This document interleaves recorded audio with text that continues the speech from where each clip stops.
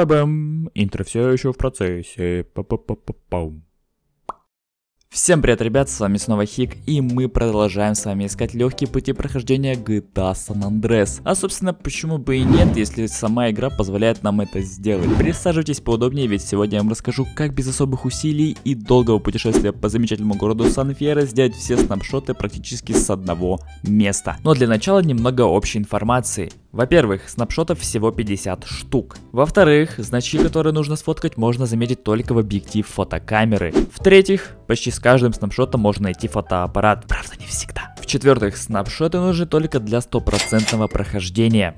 И в-пятых, запомните, черт возьми, эту карту, потому что именно с этих точек вы будете делать эти замечательные фотографии, которые игра засчитает и скажет «Вау! Отличная фотка, чувак!» Или нет. И вот наша первая точка находится на вдоках Санферы. Здесь на этой точке нужно сделать 8 фотографий, и вот как это делается.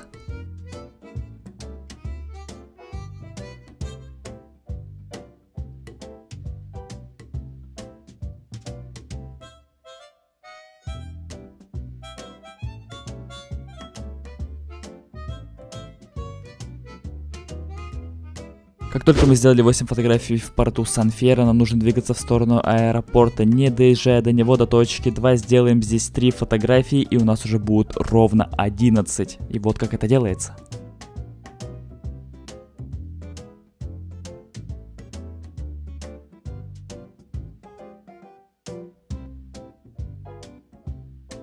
После точки 2 приближаемся к точке 3 для того, чтобы сделать еще две фотографии огромной вышки и двух цистерн.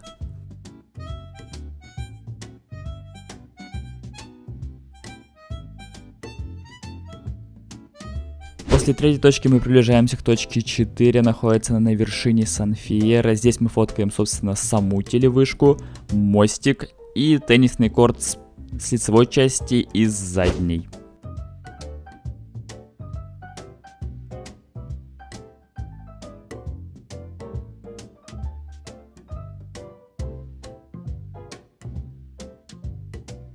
После четвертой точки отправляемся в самый центр Сан-Фьера до отеля, точнее до его задней части, на парковку. И с парковки мы совершаем самую глобальную фотосессию за весь этот ролик.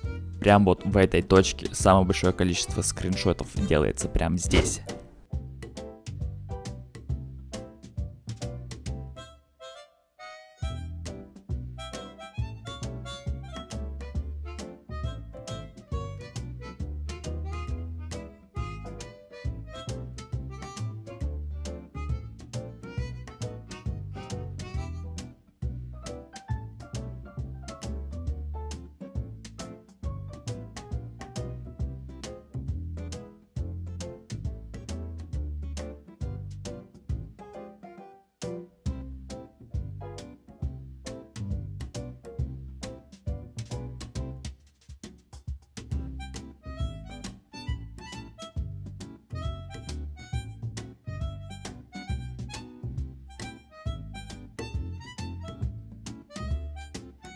После пятой точки совершенно на секундочку заезжаем на этот перекресток и делаем нашу 36-ю фоточку.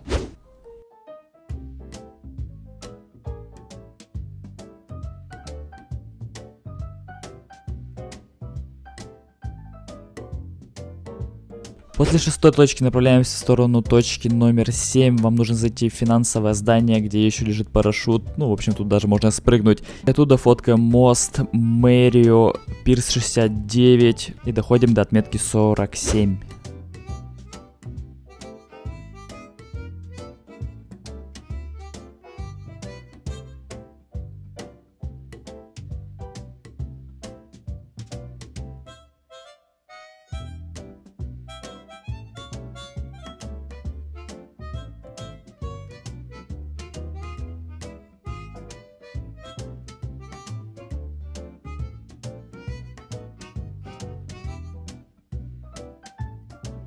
После седьмой точки буквально на секундочку также приближаемся к пирсу и фоткаем подводную лодочку.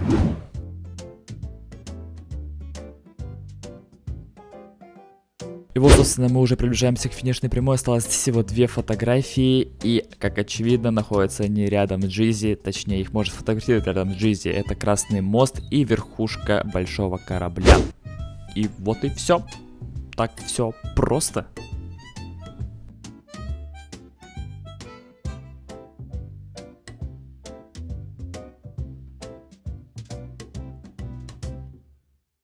В общем, как-то так все и получилось. Если вы не знали о таком способе и что вообще можно фоткать сквозь текстуры, обязательно поставьте лайк. Если вы вообще узнали об этом способе первый раз, ставьте лайк, напишите какой-нибудь комментарий, подписывайтесь на канал, мне будет очень приятно.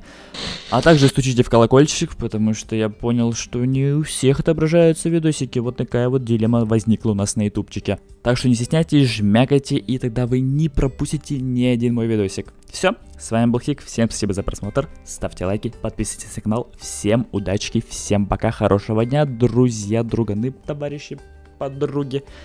Ну или кто там меня еще может смотреть, бабушки, дедушки, тети, дяди.